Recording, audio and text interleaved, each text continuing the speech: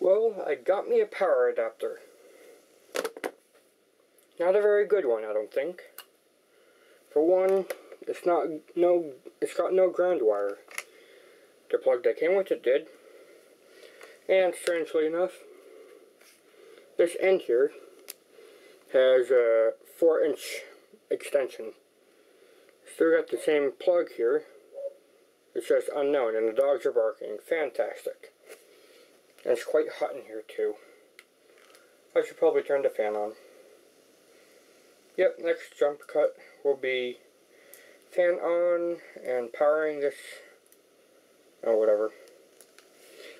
Point is, I got this Alienware computer for 150 and I got this power adapter for 40 so I'm 190 into it. These normally sell for about 250 or 300 by the time I load Windows onto it, I'll have no money left to make, so I don't know. The dogs are being more annoying than they should be.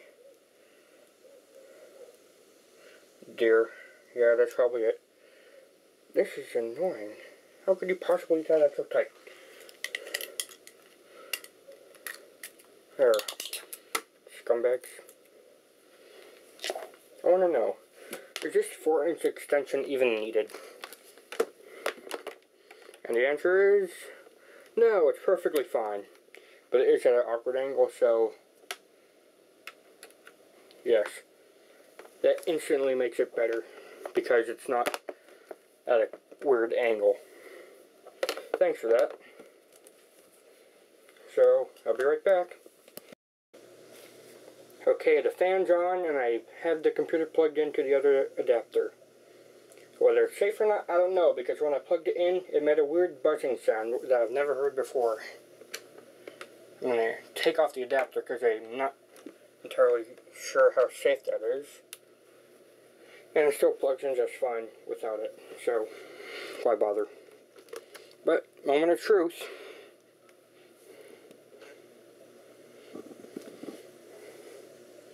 And into setup,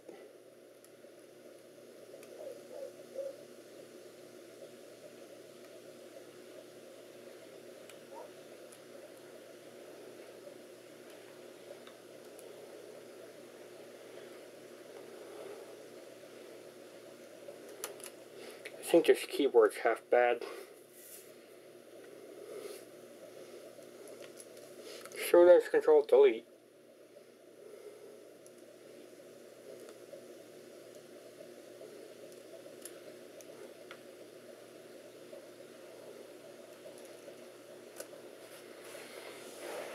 Now I apparently gotta do something because it's not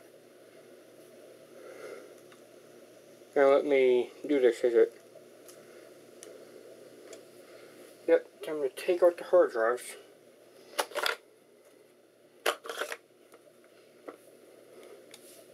Now it should be good.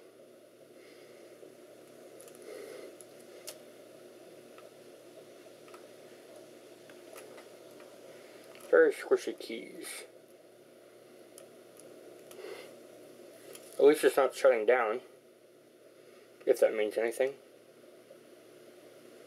You can hear the fan spin up. First time we actually heard them, so that's a good sign, I think.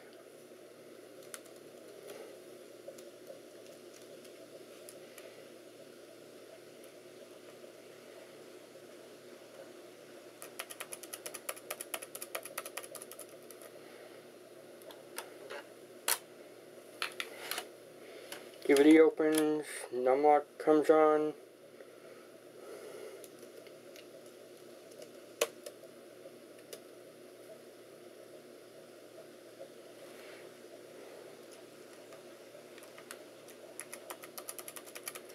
I want to try this on an external keyboard, see if this will help it. Oh, I see. I think I was clocking that.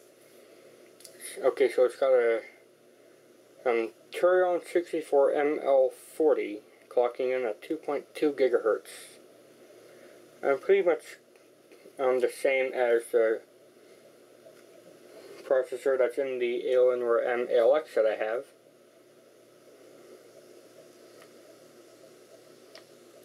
But I'm just 20 megahertz slower. Eh. No, 200 megahertz slower, my bad.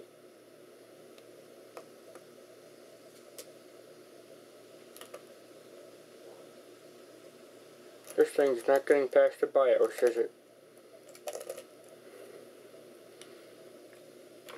And stayed on, so the power adapter at least somewhat works.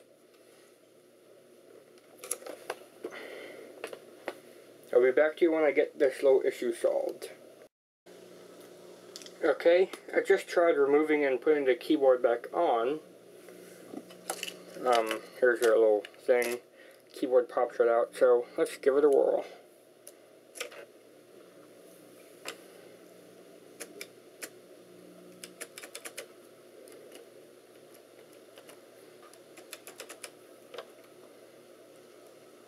Yeah, keyboard's just busted. Alright, let me try getting an extra external keyboard. I'll be right back. Got one. This is a miniature keyboard from the Sony NetPlay controller. Or I'm sorry, Logitech, Logitech NetPlay controller for the PS2. Um, I couldn't find any other USB uh, keyboard, so this. Let's see if it works.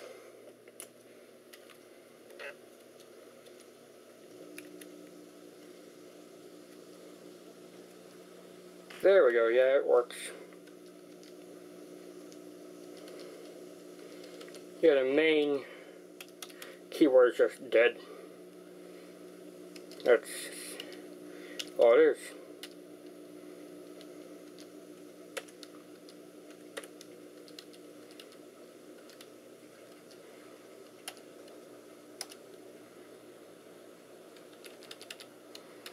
Of course, it's, oh, it's got the right date scumbags.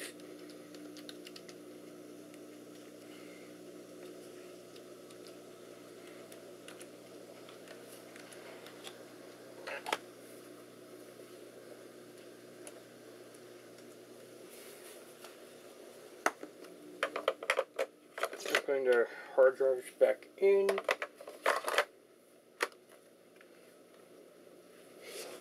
I'm going to put this back in place and put the screw back in that holds the keyboard in. There's a few keyboard screws missing, but that's beside the point. Point is, I found out what's wrong. It's the keyboard, which is a relatively cheap fix.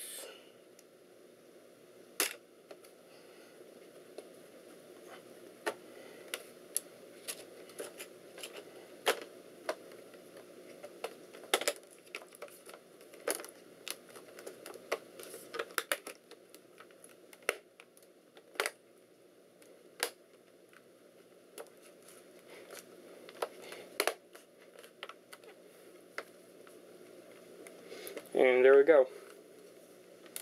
I wonder if the battery holds, holds a charge. Or if it'll just blink again. Yeah, it just blinks. Okay. I guess the battery doesn't hold any charge anymore. Too bad.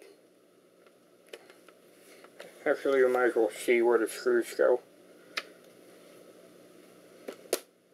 There's one screw on the back of the hinge here. On this little black part.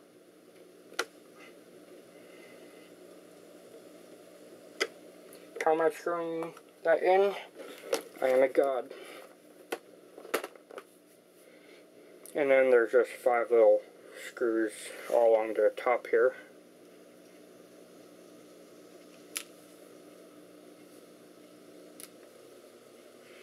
I guess while I get the keyboard, I'll get a new um, cover. As you saw before, it had that dent in it on the left side which won't be pretty to whoever gets this next. Because other than that, this is a very flawless looking system.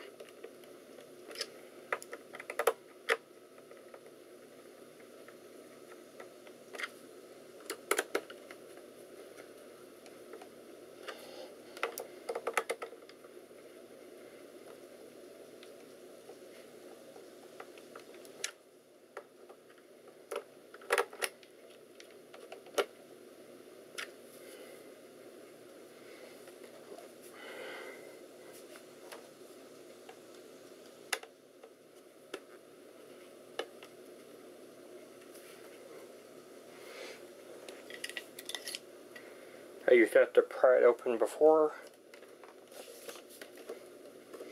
And I guess that's it. This computer is good to go, although I question the authenticity of that power supply.